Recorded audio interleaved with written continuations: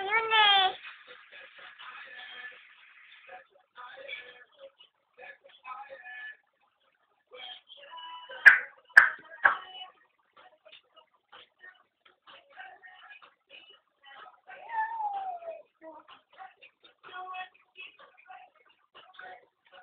Didilat pa to. Opo.